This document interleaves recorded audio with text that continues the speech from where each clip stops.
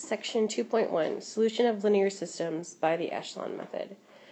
Uh, in the past, we had graphed using uh, just one linear straight line. But what happens now if we decide that we want to graph two of those lines together on the same plane? Well, there's three options that can happen. The first option is that they intersect and they have a solution at the point in which they intersect. The second option is they would have no solutions. This is the ins inconsistent case, and this means that they have parallel lines. So no solution means we have parallel lines. Or we can have infinitely many solutions. This is the dependent case, meaning that it's the same line. So if you were to graph two lines, um, and they ended up being the same line, they would be right on top of one another. Okay. Um, to solve a system of linear equations, we're going to need to, to create an equivalent system. So we're going to manipulate the equations to make them work in our favor. We can do the following and we'll keep the system true. So we can exchange any two equations, so reverse them around. We can multiply an entire equation by any non-zero real number. So any positive or negative number we can multiply an equation by. And we can also replace any, equation by a non-zero multiple of that equation and then add it to another multiple of any other equation. And I know that seems kind of weird, so we'll go over that together. We're going to use the echelon method to help solve the system of equations. The echelon method uses the rules above to help simplify in a systematic manner. Ultimately, our goal is to try to eliminate a variable in order to simplify. So let's solve the system of equations. I have 3x plus 10y equals 115 and 11x plus 4y equals 95. So we want to determine what location, if we were to graph these two equations, where they would cross one another, and hopefully they do. So I'm going to start off by trying to eliminate, I'm going to try to eliminate the x variable here. So I need to find a common multiple between 3 and 11. Well, a common multiple of 3 and 11 would be 33. One would have to, and then I'm going to add them together. So one would have to be positive and one would have to be negative. So I'm going to multiply my first equation here by 11. And I'm going to multiply my second equation here by negative 3. So when I multiply everything in that equation by 11, I end up with 33x plus 110y equals 12 equals 1265. And when I multiply the bottom by negative 3, I get negative 33x minus 12y equals negative 285. So now let's add these together. You'll notice when I add these together that my x's cancel. I have 98y, and that is equal to 980.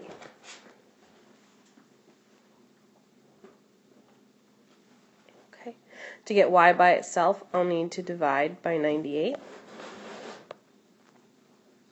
And when I do that, y is equal to 10.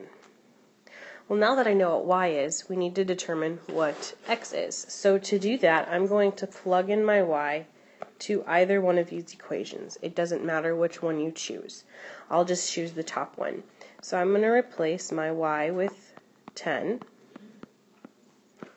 and get x by itself. So 3x plus 100 equals 115. 3x equals 15 when I subtract 100 and divide by 3, so x is equal to 5. We write in a ordered pair. So the ordered pair 5, 10 is the solution. This is the location where they would cross one another on the on the graph, and this would be their solution. Let's try 2x plus 3y equals 12 and 3x minus 4y equals 1. So again, we're going to try to eliminate the x variable. Um, one will need to be positive and one will need to be negative. The least common multiple between 2 and 3 is 6. So I'm going to multiply the top by 3 and the bottom by negative 2 and multiply through each one, giving me 6x plus 9y equals 36 and negative 6x plus 8y equals negative 2. We'll add these together. Our x's eliminate, giving us 17y equals 34. To get y by itself, we'll divide by 17. So y equals 2, which is awesome. Now we need to find x, so we'll need to plug into either one of the equations above. It doesn't matter which one we choose. I'll just choose the top one. So I'm going to replace y with 2 and get x by itself. So 2x plus 6 equals 12. Subtract 6. So 2x equals 6. Divide by 2. So x equals 3. Awesome. So this one works. We have 3, 2 is the location in which this uh, system will cross one another. Let's try another. 2x minus 3y equals 6 and negative 4x plus 6y equals 8. So if I want to eliminate the x variable, and you certainly could um, eliminate y, it doesn't matter which, which one you choose. The same principle will happen. Um, so if I wanted to eliminate the x variable, notice that the 2 and the negative 4, um, they're opposites of each other. So really, and the least common multiple between 2 and 4 is 4. So all I need to do is multiply my top equation by 2, and nothing will need to be multiplied on the bottom. So I multiply my first equation by 2, we end up with 4x minus 6y equals equals 12. Again, we don't need to multiply anything on the bottom since we already have have that multiple. So again, when we add, we're going to eliminate the x variables. Oh boy, and we're also eliminating our y variables. So I have 0 equals 20. Well, this is false. 0 does not equal 20. And since this is not true, there is no solution. And if there is no solution, that means we have parallel lines, since they're never going to touch one another. Okay. Let's look at 3x minus y equals 4 and negative 6x plus 2y equals negative 8. So again, if we wanted to tackle the x variables, um, we see that the least common multiple between 3 and 6 would be 6. 1 is already negative, so I just need to multiply my first equation here by 2. And if I multiply across, we'll end up with 6x minus 2y equals 8. And if I add that to my bottom equation, we didn't need to multiply by anything since it already had that number. So if we, whoa, look at here. Our x's cancel, our y's cancel, so I'm left with 0 equals 0. Well, this is a true statement, and because of this, we're going to have infinitely many solutions.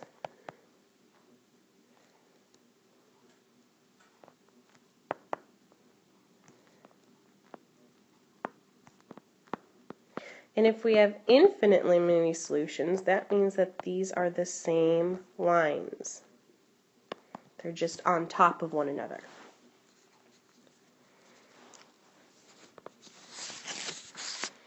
All right. Katrina Bird invested in Coca-Cola stock and Wendy's stock. The Coca-Cola stock currently sells for $40 a share and the Wendy's stock for $8 a share. Her current investment is worth $6,720. Katrina has a total of 360 shares of stock. How many shares of each stock does she own? Well, first let's identify that X is going to be for the Coca-Cola shares.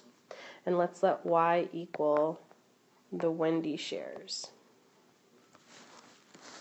Okay, we know that it cost $40 per Coke share, and that it, we also know that if we add that to $8 per Wendy share, that we have a total of $6,720 invested altogether. So here's our monetary value.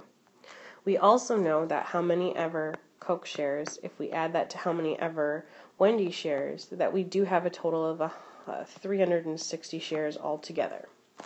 Well, now we've created a system, so we want to know where they collide together so we can determine how many shares of each that we have.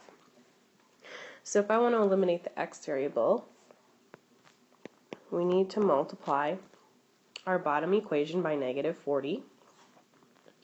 This will give us, we're not changing anything on our first equation, so 40x plus 80y equals 6,720. Our bottom equation will have negative 40x minus 40y equals negative 14,400. And again, we're going to add these together. Our x's cancel. I'm sorry, this should be just regular 8, not 80. Okay, so 8y minus 40y gives us negative 32y equal to negative 7,680. To get y by itself, we'll divide by negative 32. So y is equivalent to positive 240. So I know that uh, Katrina has 240 Wendy shares, but how many Coke shares does she have? Well, we can easily plug it into this equation here in order to determine how many shares we have. So x plus 240, our y is 240, equals 360. We'll subtract 240 from both sides. So x is equal to 120. So she has 120 Coke shares and she has 240 Wendy shares. You try. Olinda Rubio has $8,601 invested in Kohl's stock and and Best Buy stock. Kohl's stock currently sells for $52 per share and Best Buy stock sells for $27 per share. Olinda has a total of 188 shares of stock. How many shares of each stock does she own? At this time, please pause the video and work through this on your own, and we'll come together to work through it together.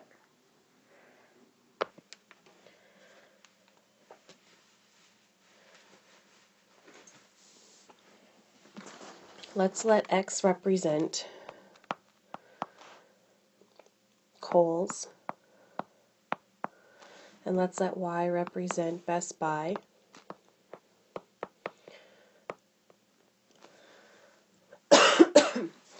We know that it costs $52 per share of Kohl's.